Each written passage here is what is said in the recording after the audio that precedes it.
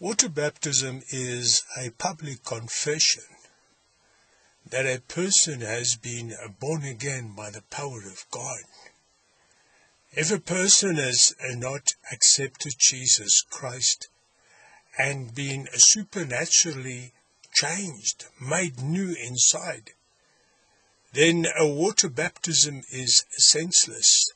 Water baptism is the start of a new life, the burial of the old person that I used to be. And from that water proceeds a new man who does the will of God, who has no desire for the things of the world or for serving himself, but only for serving the kingdom of God. If we have not been changed inside and been born again, become children of God, who have a desire for the kingdom of God, then it is senseless to be baptized.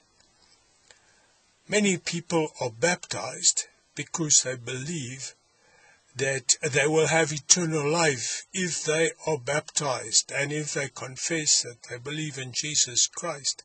Jesus said that unless a man is born of the Spirit and of water, he cannot enter the kingdom of God. We have to be born of the Spirit of God, become a child of God, become new inside. And then water baptism is the outward demonstration of a new birth inside.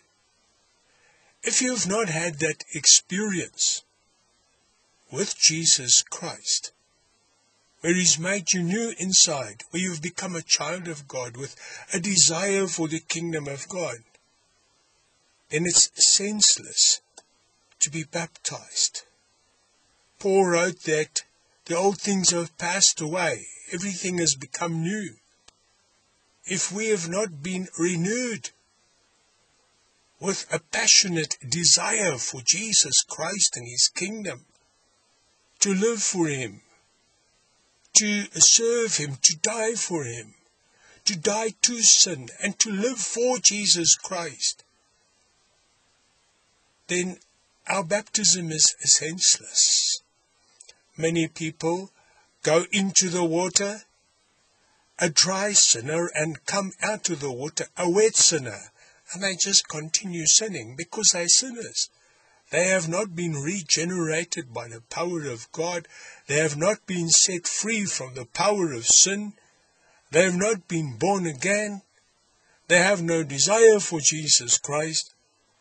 They just believe they have salvation. But new life has not begun in them. They're still dead in their sins. If we have not died to sin, to our own desires and to our old life of selfishness and not being born again by the Spirit of God so that we have a desire for that which is righteous and holy and pleasing to God, to seek and to build His kingdom, then baptism is senseless. Then new life is not begun. We're still dead in our sins. Have you been born again by the power of God? And have you therefore publicly demonstrated through water baptism that you're a new man, you're born again of the Spirit of God and of water. You're a child of God. Or are you still dead in your sins? If you're not born again, you cannot enter the kingdom of God. Has new life begun for you? Are you living a life that is pleasing to God? Are you in Christ, a new man?